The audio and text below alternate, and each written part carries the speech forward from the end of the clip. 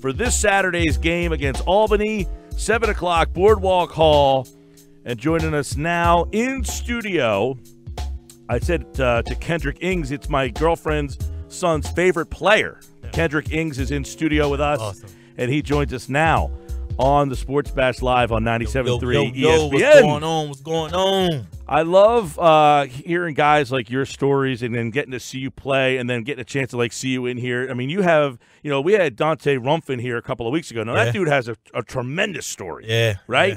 Um, you know, and he had some notoriety from being on the Hard Knock show and been in some NFL camps, and, and you were uh, in camps too with Tampa and stuff. And but a lot of times you go back, he played at Kentucky. Yeah. So he played in the SEC Okay.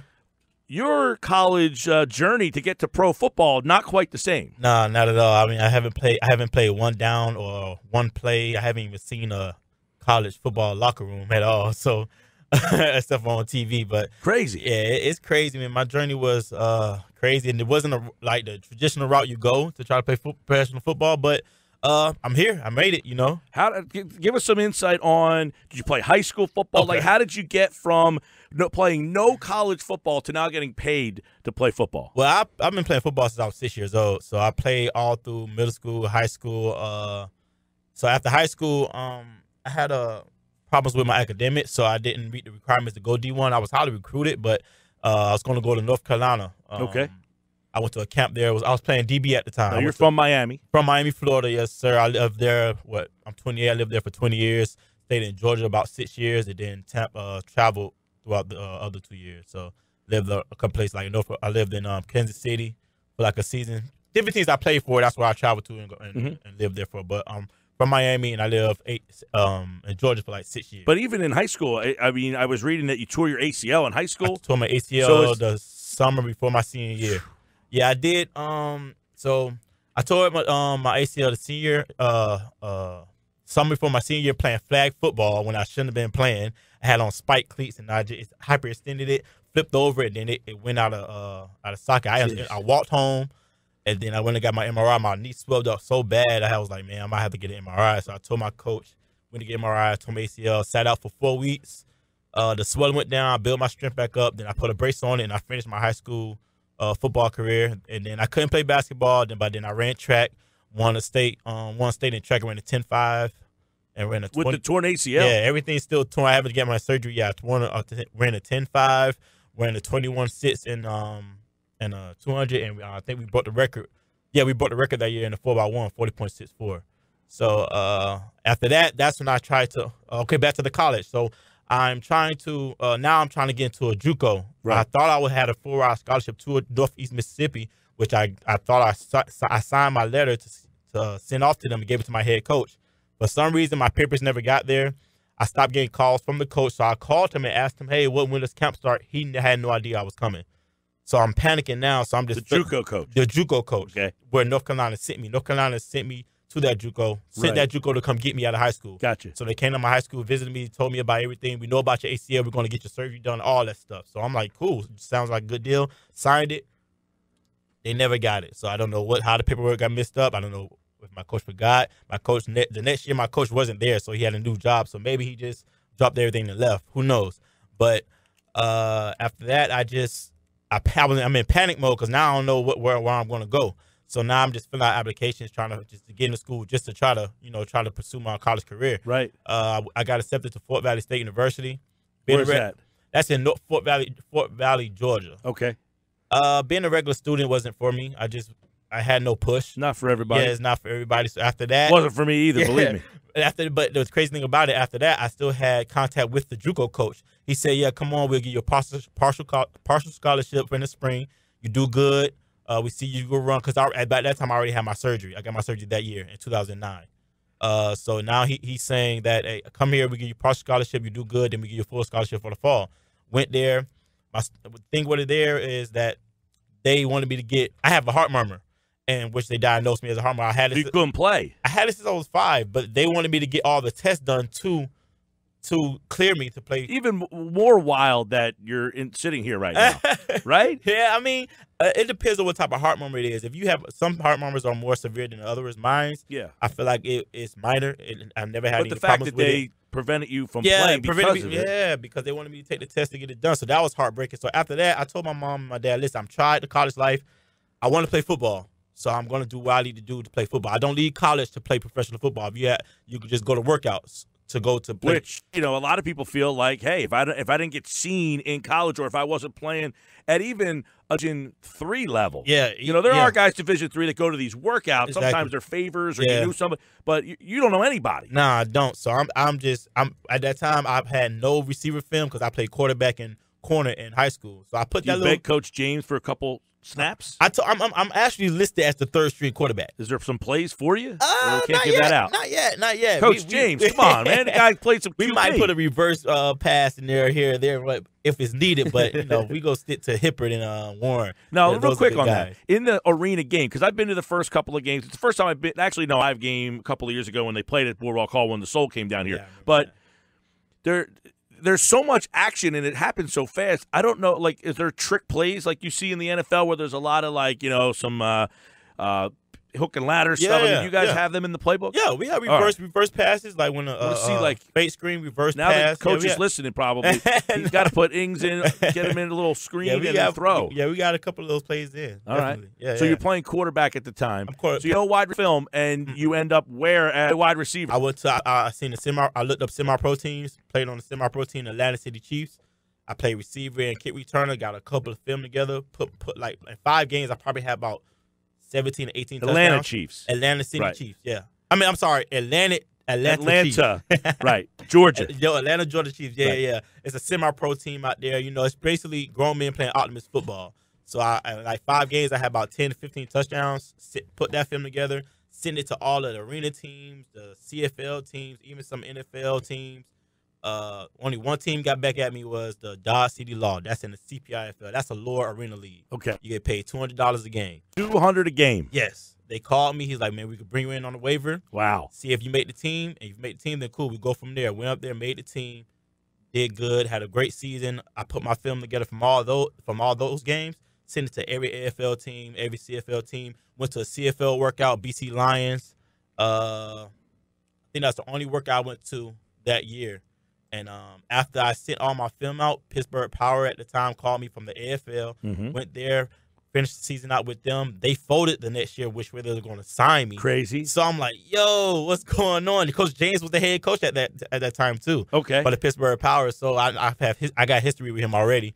So I'm like, dang, they done folded. So now I got um back to square one. So I was in Tampa at the time. They had a workout. At any point, are you so frustrated? Like I, I'm not gonna. This is it. Never frustrated. I'm a man of faith. I feel like if you put in the work and you have faith, you you can do anything. All right. Honestly, yeah. I- Well, this takes you. You know, Tampa Bay Storm. I mean, Mhm. that was at the time. You know, I've been down in Tampa. They love that team down there. yes, yes, I love Tampa, man. I'm mad they folded. Yeah. yeah. I, I was Bet you about- are. I was thinking about That Channel spending- Side's a nice place to go. really is. It really is. I love Tampa. I thought about spending the rest of my career there if they didn't fold. For Yeah. real. If they're listening, I could go down there too. We'll both go together. Yeah, that's God. No, that that that place really supported that team it's big rumors time. of them coming back, so we'll see. That'd be cool because uh, there's some, you know, Gruden was, uh, you know, Mhm. he's now coaching uh, Yeah, in the yeah, NFL. I mean, exactly. so it's been a great spot. And then here you go, you're in camp with the Lions. Yeah. Um. After my, like I said, after I went to the Tampa Bay Storm workout, they signed me. Balled out that year. Almost got rookie of the year. Detroit called, asked, they brought me in for a workout. We're in a four three three. They signed me that day. Unbelievable. And, I played I three three. Yeah, I was only there for two. weeks. It was the greatest experience. The first time I was in ever in. the Now, who's on the line? Stafford, obviously. Um, yeah, Stafford, Megatron, uh, Megatron. Golden Tate. So this is like 2000 what 15? This is 15. Yep. Okay. Uh, this is that was his last year. Golden Tate was another receiver. Um, Who was in Philly this year?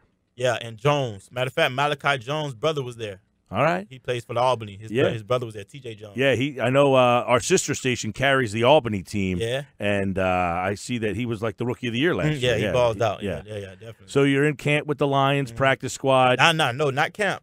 no, practice. week one. yeah. Yeah, I just week one. I was they called me up week one, so I was there So for this is week. after training camp. yeah, after training camp, I was there week one, week one and week two. Then they released me after that. All right. And then a year later, Uh-huh. in December, you get signed with the Tam- so you're back in Tampa. I'm back in town because I went I went back to play with the with the Storm. So when you're with the Storm, is there some sort of like uh, relate. I don't want to say relationship, but like, is there some like, hey, I'm on the storm, like Bucks. Hey, come take a Yeah, look at us. definitely. You Yeah, know our, our president of the team is Derrick Brooks. oh, okay. Yeah, so he he, He knows you. Yeah, he he's I know him personally. He's he, a big wrestling fan. Yeah, yeah, yeah. He, he's um he's well connected with the Bucks. So he said they if they call anybody over, hey, we got you got any guys? He'll put your name in there if you're performing well. So yeah, So you get that. I get that. Go to a workout. They didn't even sign me right away. Who's They, QB at the time there?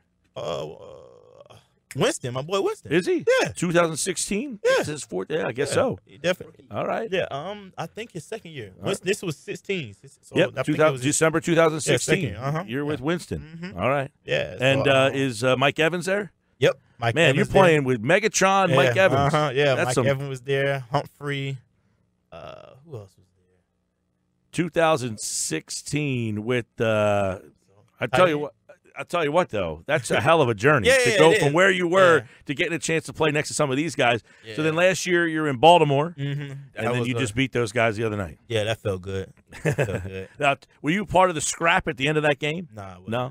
you know those guys too well. Yeah, I know. Uh, we all know each other well. It's just a friendly fire. I don't think it, gets too serious after the football field. So this season two and two, and it's kind of interesting because you're with Baltimore last year, and part of the premise of the league is they got guys changing teams so often. I mean, Yeah. it's hard to kind of like Yeah. find yourself a home, but it seems like this team being a, uh, a expansion team has blended quickly, and right off the bat, this wide receiving core seems Yeah. to be kind of like manifesting its own personality. we are. We each week we are growing and getting to know each other more and getting better each week. We challenge ourselves every day to get better. So I love this team. I feel like we have a the camaraderie is so good. We bonded real fast. So I like this to be a home for me for the rest of my AFL career. Honestly. Yeah, well, we hope so because you know between you, who I said, you know, the the, the, young kids watching you, uh, just the playmaking ability. Uh, LaMark is, I mean, he's He's a beast. You look at him and you're thinking, man, this guy can play linebacker in Yeah. the NFL, but he's a wideout. Exactly. He actually was tight end in the NFL. Really, Yeah.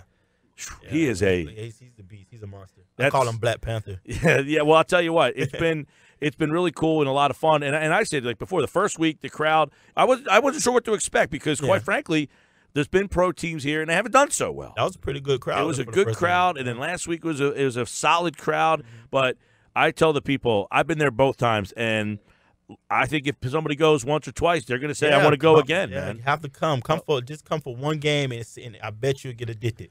It's fun. Yeah. it really is. Yeah, it's, and it's crowd friendly. You know, you can't get that everywhere. yeah, you could say the difference in this building. I feel from arenas. Mhm. This isn't really like an arena. This is like something different. yeah, it's different. It's a lot of history. Yeah. since 1920. somebody sitting in like row 15 Mhm. is almost on the field here. Definitely. Whereas if you're in row 15 in an arena, you don't have the same feel. Yeah, you're It's a lot you're- different. You're, you're, you're pretty much far away, but Yeah. you're like right there. Like you got to pay attention because the ball can come at any time. You know your way around yet?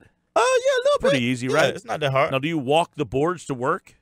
No, uh, well, You're staying at where? Ocean? uh, uh I'm st- we're staying at Absecon. What is Okay. it called? Is right? Yeah, that's where I stay. All right. So you're Yeah. out and right off the So island. it's like 15, so you know how to get 15 there. minutes away. Yeah. Yeah, because it can be. But a I, I little- walk the boardwalk a lot though. Yeah. I, me and my girl was here last week. We was on the beach, just vibing. Then I went to I mean, you could end up in a lot worse places. yeah. Albany, Columbus.